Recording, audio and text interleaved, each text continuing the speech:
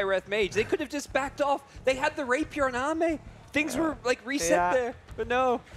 Oh, it was such a fun game to watch. It This, was. by the way, Rodjer not moving from that spot, he is blocking the rapier taking as well. Knew exactly where to go. that, that sums up this game right there. It's like, I don't know how we get out of that one. Somehow we have a game three. Ah, we have some. We have a scoreboard as well, uh, in case you want to just bask in the glory that is uh, Rodjer's stats.